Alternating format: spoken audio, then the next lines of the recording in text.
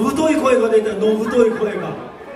いやファンがいますよ。はい万波選手はなんか分かられたみたいですね。えー、お二人とも1年目でございますがえー、どうですか？ちょっと今年振り返ってみてこれまで。感想は？はい感想はどうですか？今季を振り返ってみての感想は？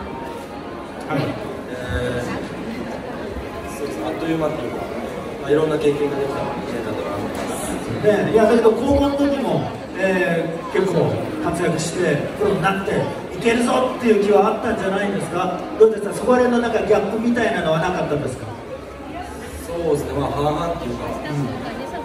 まあ、いけるかなと思ったら思いましたし、はい、あそうやっちゃうだから2人一緒におったんですいや、和夫さんまだ帰っちゃうし、今回はずみさんにかけない。半分もう少しっていうような感じですよ。手応えも大きかったですよね、今年はね。手応えも大きかったですね、手応えも時はね、ありましたよね。はい。さあ、どうですか、ご覧になって。まあ、良くも悪くも。いろいろあった一年かなと思います。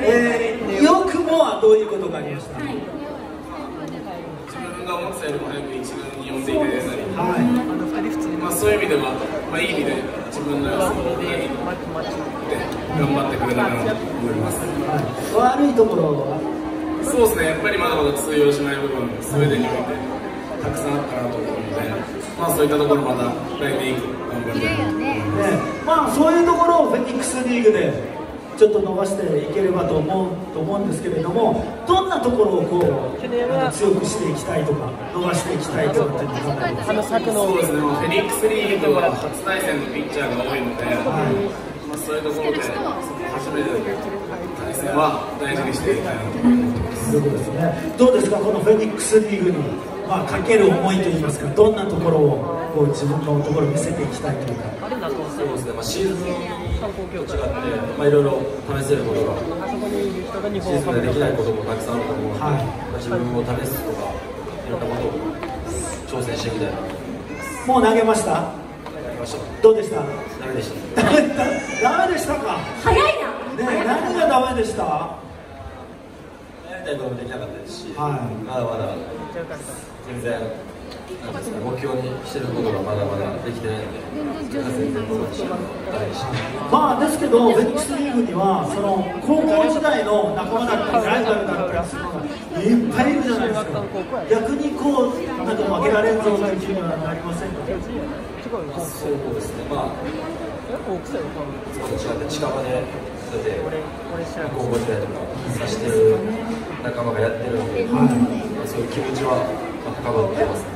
ですよね。やっぱりみんなよりも上に行きたいとかね、思うのでね、これ頑張っていただきたいんですけれども、さあ、えー、プレゼント持ってきていただきました。はい、万谷選手のボールも結構いろいろ。ですね。おいくつも入ってますね。入ってます。はい。ありがとうございます。じゃあ、どなたか選んでいただけますか、万谷選手はい。じゃあ、このプレゼント欲しい方。はい。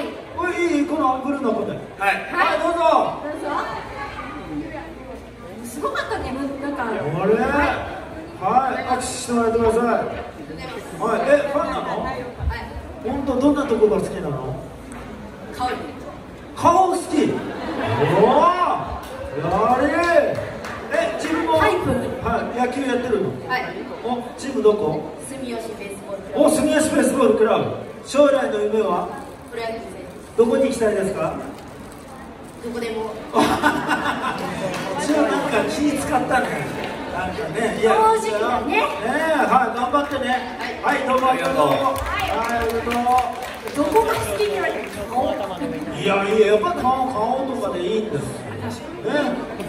はい、はい、はいもう一方いきますよ。はい欲しい方お早かった。